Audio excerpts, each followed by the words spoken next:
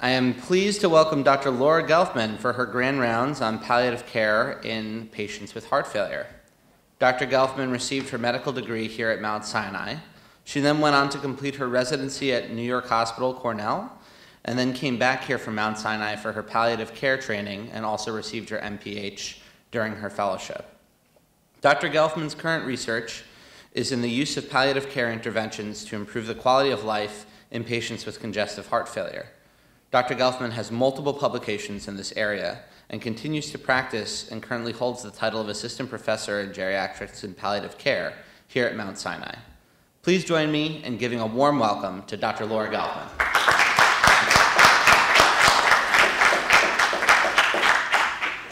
Good morning, everyone, and thank you so much um, for inviting me to speak today.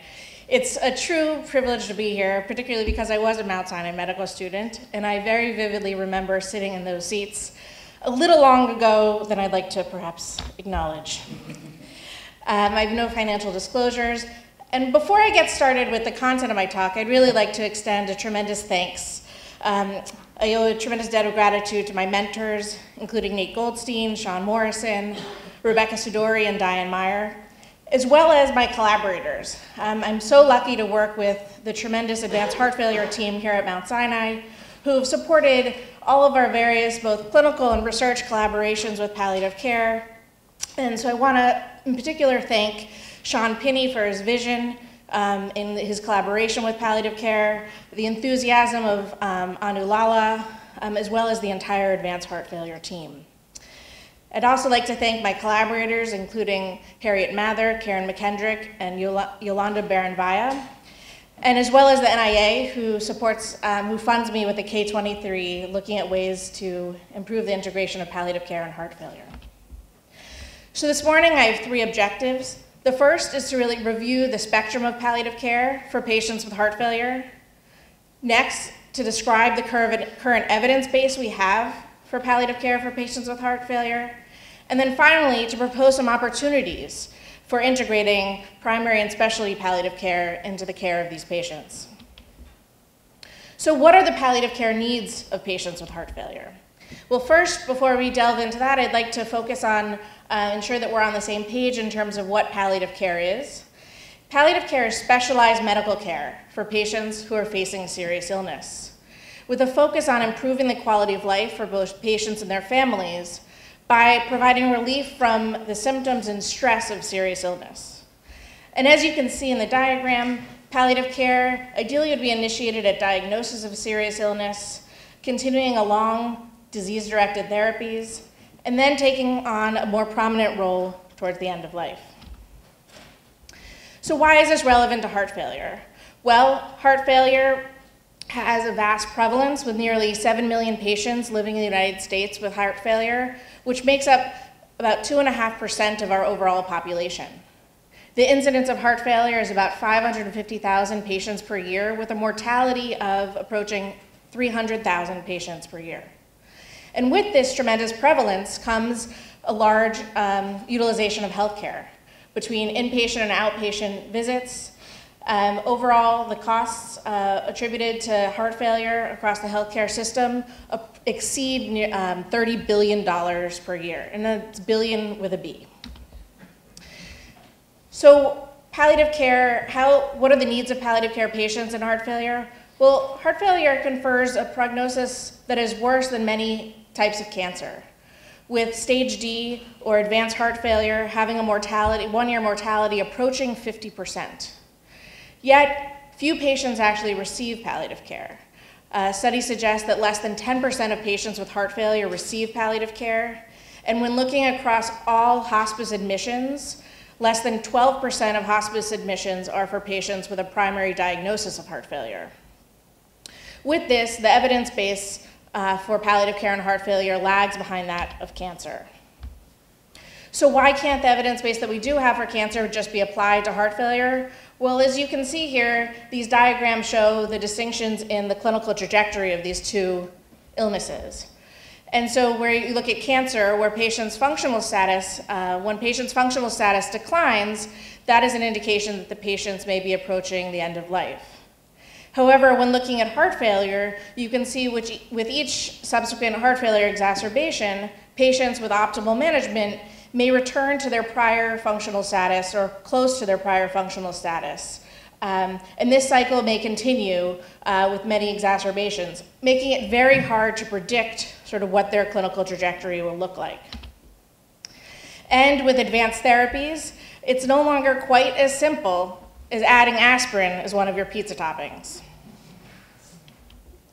We now have tremendous um, spread of different therapies that allow us to replace, remodel, reprogram, and repair the heart with things like uh, mechanical circulatory support and transplant, which really has changed this clinical trajectory where patients who are um, in the diagram on the right at 0.4 in their clinical trajectory, with these therapies, they can really go backwards in time in many respects, improving both their quality of life and survival, which again contributes to the uncertainty and unpredictability of this clinical trajectory. And this unpredictability and uncertainty persists even when patients are receiving things like advanced therapies, including destination therapy LVADs. In this study, um, which Shannon Dunlay at the Mayo looked at what the clinical trajectory is for patients who receive destination therapy LVADs, you can see that in the green and yellow, about 70% of these patients have a tremendous clinical improvement after receipt of the device. Uh, about 40% of these patients have an acute death after that clinical improvement, and another 30% have a more gradual decline. Yet you can also see about 10% of these patients have an early postoperative death, and 20% are faced with a uh, persistent organ failure, um, heart or otherwise. And so this demonstrates really that even those patients who are getting that, those advanced therapies also face a tremendous amount of unpredictability. And so with all these therapies, we've been really been able to shift the trajectory um, and really elongate it. Whereas you can see in the upper diagram, it used to be that patients went uh, more precipitously from stage B to stage C to stage D heart failure. Now you can see in the diagram below that this trajectory has really um, elongated with all these therapies. And so with this, as patients live longer, more patients uh, experience heart failure, Furthermore, with improved therapies such as uh, management of acute MI, patients survive longer. And then with particular management of heart failure itself, patients survive longer. And so overall, the projected prevalence of heart failure by 2030 is going to be over 8 million people. So what I've shown so far is really that in spite of um, the data we have about this illness, it's very hard to predict sort of where patients are on their trajectory. What we do have is um, rehospitalization is actually a, a, good marker for mortality. And in this study, which they looked at a, a cohort of patients um, from British Columbia who um, had subsequent heart failure hospitalizations, they found that overall, after adjusting for age and comorbidities, that the median survival after one heart failure hospitalization was just under two and a half years, and that dramatically decreased when you go forward into looking at after their fourth heart failure hospitalization with a survival of just over half a year. And then when you look at different sub subsamples, you can look at those patients who had concomitant chronic kidney disease or advancing age, uh, the survival was much worse. So now moving ahead and thinking about what is the evidence base that we actually have for palliative care and heart failure. Well, there was a study that was published in 2017 by Joe Rogers Group at Duke, and this was a single center randomized control trial looking at comparing a palliative care nurse practitioner led intervention uh, versus usual care. And these patients were enrolled who were identified to have both advanced heart failure as well as a high risk for mortality. And these patients were enrolled if they were either recently hospitalized uh, or they are hospitalized or recently discharged. And so this palliative care nurse practitioner um, initiated a consultation at enrollment and then continued to follow these patients for six months. And what this study showed is that those patients who received the intervention um, had more improvements in terms of their quality of life, anxiety, depression, and spiritual well-being, without any difference in their rehospitalization or mortality numbers. In another intervention that was conducted at the Brigham of a social worker led palliative care intervention with a focus on advanced care planning, in this pilot randomized control trial of 50 patients, patients were randomized to have a cardiology social work um, intervention. Um, and again, these patients were followed for six months. Um, at the end of the study, it was found that the patients who received the intervention had a statistically significant increase in the number of documented advanced care preferences, as well as improved prognostic alignment. And so prognostic alignment really means that both the physician and the patient are more concordant in their perception of what their prognosis is. And so I just want to uh, note that in, at enrollment, the physicians um, reported that the prognosis of the patients enrolled was less than a year in 64% of the patients. Whereas at enrollment, the patients predicted their own prognosis to be greater than five years in 84% of these patients. So at enrollment, there was a tremendous discrepancy between the physician and patient's perception of their prognosis, and that gap um, diminished in the uh, intervention group. At six months, there was no measured difference in the groups between depression, anxiety, or quality of life. Now moving on to some of our work here, in which we um, analyzed a group of Medicare beneficiaries who had two or more heart failure hospitalizations within six months to look at some of what are the associations between patient characteristics and subsequent hospice enrollment. And here you can see um, that we, our hypothesis was that patients who were more symptomatic or who had a worse functional status would be more likely to enroll in hospice. And what we found is actually it's much more random than that. That, um, as you can see here, both the usual care and hospice group have very similar reported rates of dyspnea and pain. And though there's statistical difference in the number of um, ADL and IADL dependencies, when you look at the numbers clinically, there's no real clinical difference between a 4.1 and 3.8. What we do see are the differences that persist across all diagnoses and those patients who enroll in hospice or not, with those who enroll in hospice being older, are less likely to be black, more less likely to have Medicaid, have a lower mean income, more likely to have cancer and dementia.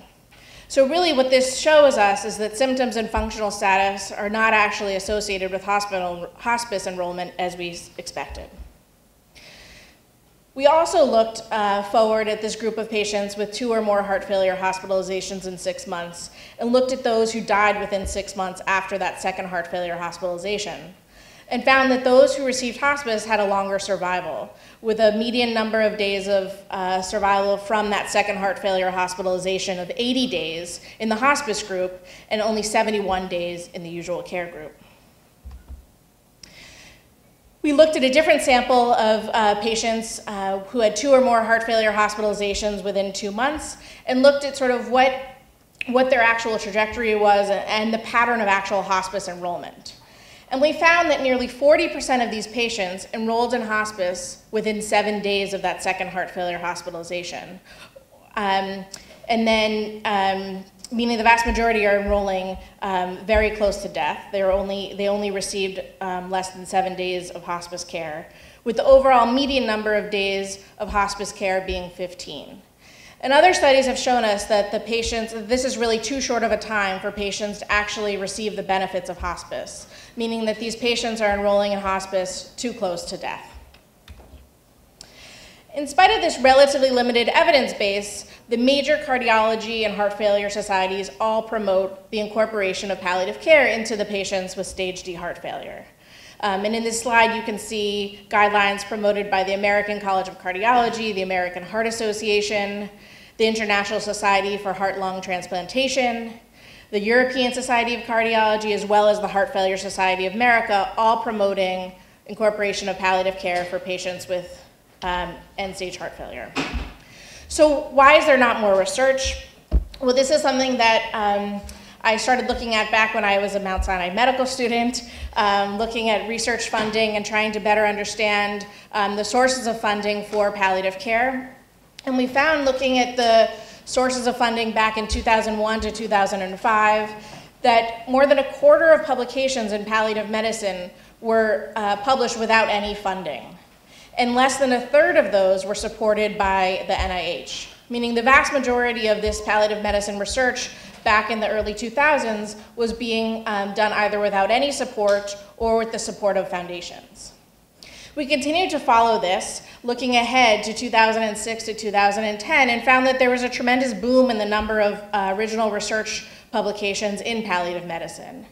And perhaps most excitingly, looking recently, this work done by one of our Mount Sinai medical students, that there was tremendous growth in the amount of palliative medicine research being published in non palliative medicine journals, meaning that there's been a tremendous growth in the dissemination of palliative medicine research outside of palliative medicine to areas like cardiology, oncology, pulmonology, as well as a growth in the number of NIH grants that are going to junior um, investigators. So when this was drilled down a bit deeper, again, this is actually work done by one of our Mount Sinai interns, um, Kira G, where she looked more specifically at NIH funding for palliative care and heart failure, and found that of the $45 billion that are um, the NIH funding goes to heart failure, less than 14 million went to palliative medicine. And with that, looking at specifically drilling down to NHLBI, the National Heart Lung Blood Institute, um, looking at their funding for um, heart failure, less than 0.1% of that went towards palliative care. And so this may be one of the explanations for why the evidence is lagging. Yet, it's important to note we do have an evidence base and it is growing, and so how can we put that into practice? Well, in this diagram, we illustrate sort of how, how palliative medicine can be offered across the whole heart failure experience. With the diagram in the red being traditional heart failure management, including um, things like diagnostic testing and evaluation, appropriate management of um, offering of various different therapies, communication of prognosis, and overall monitoring of physical function and quality of life as the illness trajectory uh, continues. With the goal that primary palliative care can be offered in tandem with this traditional heart failure management. And when I say primary care, primary palliative care, I mean palliative care that can be offered by the primary team, meaning, in, certainly at Mount Sinai, the interdisciplinary team, including physicians, nurses, nurse practitioners, uh, social workers, and those primary palliative care um, domains include all the palliative care domains of pain and symptom management, assistance with decision making and advanced care planning, uh, support to the family to reduce the emotional distress of facing a serious illness, and coordinating care across the entire team. And then specialty palliative care would take, um, take part when the cases are particularly complex or um, severe. And so we're really lucky to be at a place where this integration is so um, tremendous. The advanced heart failure team and our palliative care team have integrated so uh, wonderfully. And so I'd like to take a moment to give a big shout out to my team uh, for all the work that they do in helping take care of patients um, and families, and um, certainly have learned a tremendous amount from you all, as well as the advanced heart failure team. Um, what you might not realize is that the, um, our teams are quite integrated, where one of the members of the palliative care team every Tuesday morning attends the ventricular assist device transplant eligibility committee um, that's held. We have, um, we see all the patients who receive destination therapy LVADs. And most recently, we've been lucky enough to incorporate Karen Hainch, who's um, an embedded palliative care nurse practitioner who works literally embedded within the heart failure team, primarily in the outpatient, inpatient setting now, and will be moving into the outpatient setting going forward. And so we're lucky enough to be at a place where this, this trajectory of going from primary and specialty palliative care um, exists, really works really well and closely with the heart failure team here at Mount Sinai. We're also leaders in thinking about ways to improve the integration of palliative care and heart failure with people like Sean Pinney, Nate Goldstein, and myself, led a group of leaders in cardiology, palliative medicine, and geriatrics to create and really set the agenda for integrating palliative care and heart failure, um, thanks to the various funding organizations. And this work continues. So, a question that we often get is really so, who, who is the right person to receive specialist palliative care? Well, first, we'd say that uncontrolled and refractory symptoms are certainly an important indicator and uh, patients may, may, benefit. And then really I would turn to back to the question of the uncertainty of this clinical trajectory and those patients who are facing um, this uncertainty. Because palliative care really has a key role in walking sort of hand in hand with the patient um, along that line of thinking sort of the hope for the best, prepare for the worst. And so, you know, some potential triggers to think about uh, calling specialty palliative care are patients you think might die on this hospitalization or patients who you have set up a discharge plan for and you're not really sure that meets their goals and values. Um, again, looking at hospitalizations was a marker for mortality. So patients who you've noticed have had two or more heart failure hospitalizations in the past year. Patients you see are just keep coming back and forth between the skilled nursing facility and the hospital, and something's just not right in terms of um, their care plan or in those patients who, in spite of your best efforts to explain what heart failure looks like and what the future may hold, you're still left with the feeling that the patient and family just don't get it. And so, um, because of the benefits of palliative care, actually it's mandated by CMS and the Joint Commission that palliative care sees all patients who have who are receiving a destination therapy LVAD. And the goal of these consultations is really to sort of walk that line of the what if um, helping patients and families understand the complex trajectory, supporting that primary team, whether it's internal medicine or cardiology, and trying to maintain or improve the quality of life of these patients with a focus on symptom control. Um, the goal is not to help the patient accept that they may be at the end of life. And so symptom management is certainly key to the work that we do. Um, the list of symptoms that heart failure patients face is quite long. And I'll just say, rather than going on the management of each of these symptoms, that the best management for the vast majority of heart failure symptoms is the management of heart failure itself.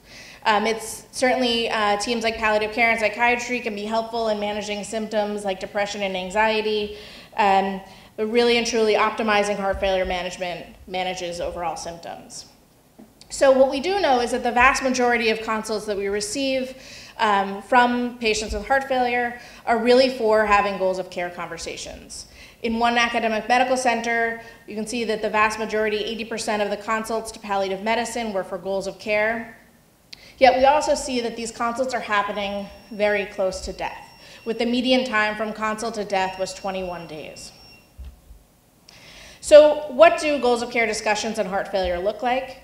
Well, taking a step back, what we do know is that goals of care conversations actually improve outcomes in patients with advanced cancer, with patients reported improved quality of life as well as lower costs of healthcare. And caregivers have improved satisfaction and improved bereavement. Furthermore, patients and families want high quality communication between themselves and their doctors. But what we know is that these are less likely to occur in patients with heart failure, such that patients are often unaware that their illness is life limiting, as demonstrated by that previous study of the patient's um, prognosis uh, projected to be greater than five years as compared to that of the physicians of less than one year. And in turn, clinicians are often unaware of their patients' treatment preferences. We also know that advanced directives are somewhat limited in terms of their completion in patients with heart failure. When one community based uh, study of patients with heart failure, only 41% had an um, advanced directive completed, and of those, 90% was a healthcare proxy. When looking particularly at code status preferences, at enrollment of the study, 73% of these patients were full code, and by the end of the study, nearly 80% were DNR. The important thing to note is that that decision that went from full code to DNR occurred about 37 days prior to death meaning that that conversation as a surrogate of the conversation about goals is happening very late in the illness trajectory. And then looking at a cohort of patients who were hospitalized for heart failure, less than 13% of these patients had a documented advanced directive. This is some work that we're working at, we're writing up now. Um, this is a randomized control trial, multi-site, um, led by Nate Goldstein, of a clinician-centered communication intervention for patients with advanced heart failure and ICDs. Um, in this study, uh, 557 patients were enrolled who had either stage three or four New York Heart Association class heart failure, as well as a high mortality risk. And what we found is we looked at some of the baseline data and found that 74% of these patients were told that they could die from their heart failure. Less than a quarter were told when they might die from their heart failure, meaning given a, a prognosis. And only a quarter reported that they discussed their wishes about the care that they would want to receive if they were dying. When moving on to look at their advanced directives at enrollment, 23% had a healthcare proxy, 13% had a living will, and only 2% had a DNR. So, why is this so complicated? Well, uh, first, looking at some of the patient perceptions of heart failure, we find that patients with heart failure are less likely to believe that they will actually die from their heart failure. One patient in a qualitative interview said, The way I look at it, I don't have an illness. I don't have cancer or anything. I basically have heart failure. You don't call it a sickness or an illness. Furthermore, not all patients want to hear the same information at the same time, and so there's a lot of variability. One patient said, If a doctor told me that my health got worse, I'd walk out and find someone else. Whereas another patient said, I'd like that doctors are upfront with what to expect. Sometimes the news isn't what you want to hear, as long as there's hope. And this is made even harder because the conversations themselves, we know, are really challenging. Um, as one patient perhaps put it best, doctors don't want to give bad news, they don't want to hurt patients. And again, coming back to this uncertainty, where patients and physicians and all the clinicians caring for uh, patients with heart failure are faced with this uncertainty. Uh, one clinician said, It's hard for a, the patient and the doctor to say, wait a minute, the pattern's changing, there's more exacerbations, it's more difficult to get this person back from the edge in particular when these patients and physicians have already brought these patients back from the edge so many times before. Yet, we also hear from patients is that they want the truth and they want it directly from their doctors. If there's something life threatening, don't beat around the bush to tell us. Most of the doctors hold back information and tell your daughters instead of the individuals.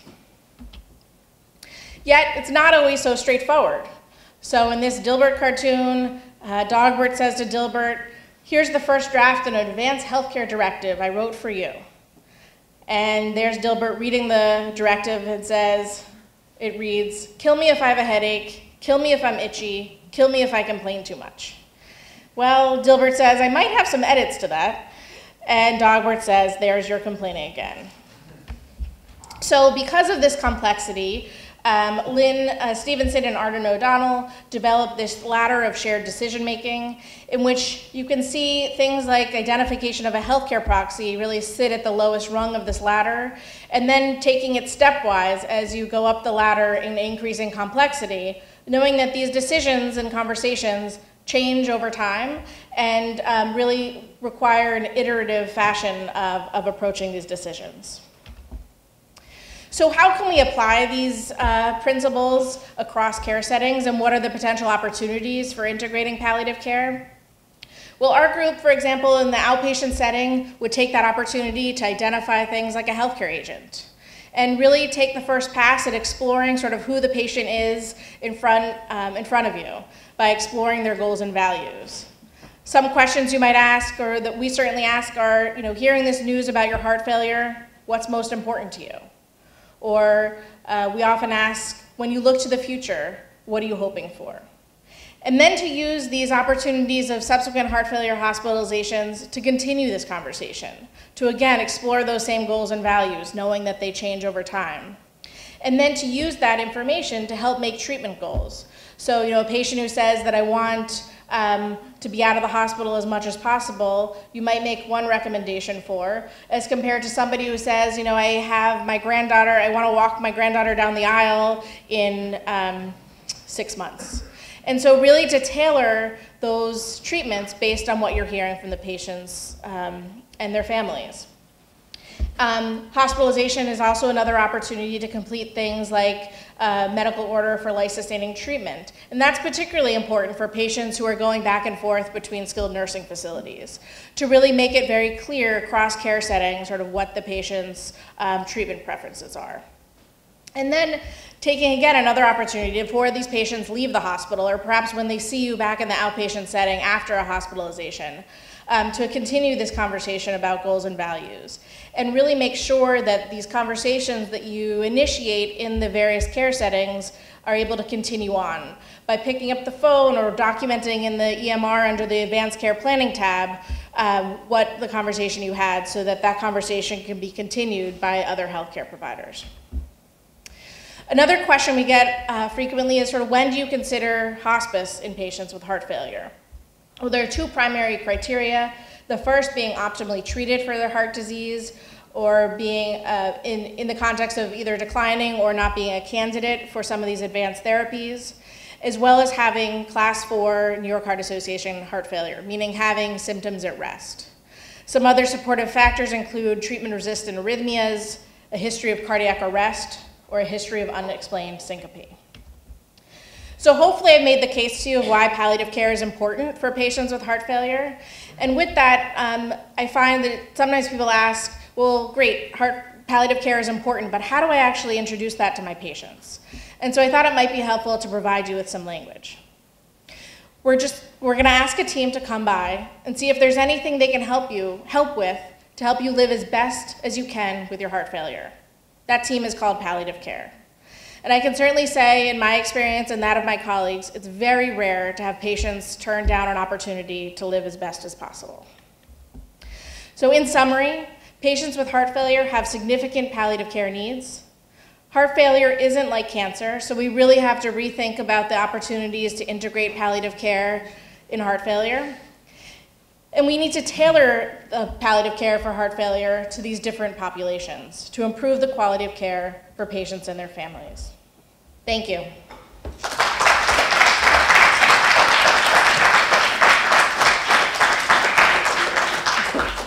Any questions? Yes. Uh, First of all, thanks very much. Uh, Fine presentation, and uh, Mount Sinai, I'm sure, is very proud of you. We have Dr. Case sitting in the first row, and he particularly must feel good about seeing one of our students do so well. And now I have a question. Uh, Most of your patients appear to be older patients. And you haven't mentioned your view of this, but this is, in a way, a beautiful presentation about older patients with heart failure. Could you comment on that point of view and why you haven't been emphasizing that and so forth? Sure. Um, certainly, a large percentage of the patients that we care for, and certainly in these studies, um, look at our older adults with heart failure because so many older adults have heart failure. Um, certainly, we provide palliative care across to, to patients at any with any age, um, any stage. Um, and so we often see patients, young patients as well. I think a lot of these studies particularly looked also at Medicare um, beneficiaries, and so that also pushes um, the age uh, to over than 65. Uh, but yeah, certainly the large number of patients are actually are older adults living with heart failure because that's where, where heart failure lives. Questions? Everyone's gone very quiet. Judy covered everything. Okay, this is a very important lecture for everybody, but particularly for the house staff, so thank you very much for a really comprehensive program, really appreciate it.